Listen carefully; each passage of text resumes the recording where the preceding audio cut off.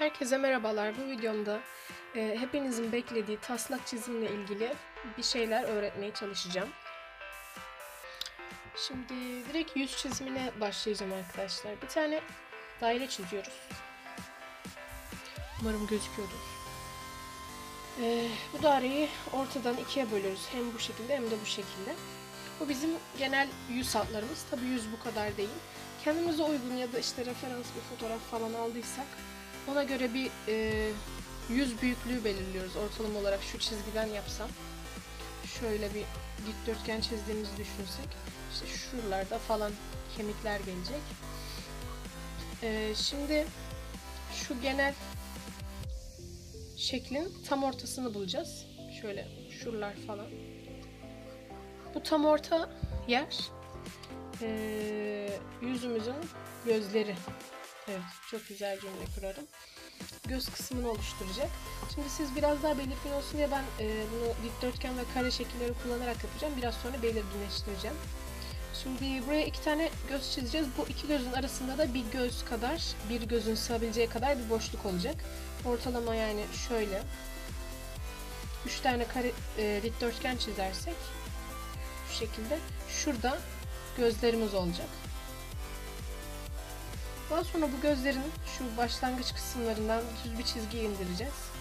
Ve e, şu kalan kısım, şu kısmı ortadan ikiye böldüğümüzde gelen yer burun oluyor genellikle. Ama tabi e, kişiden kişiye göre değişiyor bu oranlar tahmin edeceğiniz üzere. Biraz daha üstten alalım çok aşağısı oldu. Şimdi buraya burun çizeceğiz. Şöyle genel bir şekil vereceğim şimdilik.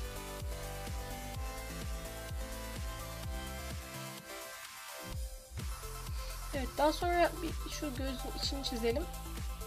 İki tane daire çizdiğimizde bu göz bebeklerinin şurada göz bebekleri var. Göz bebeklerinin e, düştüğü yer tam şu hizada ağız çizgisi oluyor. Tam şu ortaya falan denk gelir. Şu en son kalan kısmımızın ortasına denk geliyor genellikle. Şu göz bebeklerimizin çizdiği yer ağızın olduğu yer.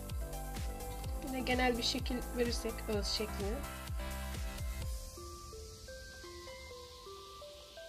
Garip bir tip oldu farkındayım ama böyle çiziliyor. Yani genel olarak ben böyle çiziyorum. Ee, bu arada yorumlara sürekli şey yazıyorsunuz. Hani nasıl çizilir diye şey yapmışsın sonra hiçbir şey anlatmıyorsun. Eğitim olarak şey yapmıyorsun falan diye. Şimdi sizler şey bekliyorsunuz böyle aşama aşama çizim nasıl öğret çizim nasıl yapılır şeklinde öğretim videosu istiyorsunuz ama bu şekilde öğrenemezsiniz yani bu şekilde gelişemezsiniz. Sadece taklit etmeyi öğrenirsiniz. Bu da benim bu konuda da bilginiz olsun. Neyse kaşlara geçelim şimdi. Kaşlar da şu hizanın yarısı gibi biraz daha böyle üstünde bir kısmı e, geliyor. Bunu kendiniz de belirleyebilirsiniz. İlla bir orana gerek yok. Yani şöyle bir üstüne yine dikdörtgen çizdiğinizde o dikdörtgene göre şekil verebilirsiniz. Kıvrımını yapabilirsiniz. İşte kalınlık, incelik vesaire. Onları ayarlayabilirsiniz. Yani bayağı değişik bir kız oldu. Çiziyorum Burun kemikleri falan. Şu şu çizginin olduğu bölüm var ya buradan da ben genellikle kemik şey yapıyorum. Şu elmacık kemiklerini belirginleştiriyorum. Daha güzel bir görüntü oluyor. Hoşuma gidiyor. Yani neden bilmiyorum. Hoşuma gidiyor. Genel olarak yüz hatları böyle çiziliyor arkadaşlar. Birazcık alnı uzatırsak alın da size kalmış. Hani istediğiniz gibi şey yapabilirsiniz. Şuranın da orta kısmını yine belirleyip saç çizgisini oradan başlatıyoruz. Şöyle bir şey yaptığınızda e, saç çizgisi geri kalan bu şekilde oluyor. Evet, boyun falan da onu da çizersek işte. Burada eğitim almadığım için pek de bilgili değilim konularda. Ka kaşlar çok garip oldu ya. Ee, genel olarak böyle. Atıyorum kahkül çiz çizecekseniz şöyle şey yaparsınız. Buraya göre saçların uzunluğunu, osunu busunu belirleyebilirsiniz. Şimdi ben e, genel olarak böyle anlattım. Bundan hemen sonra da kısa bir böyle hızlandırmış çekim video atacağım. Hani daha iyi anlaşılsın diye. Onu da seyrederseniz ya da ayrı yapmayabilirim ya. Ee, şey yaparım büyük ihtimalle. Hemen bundan sonra eklerim.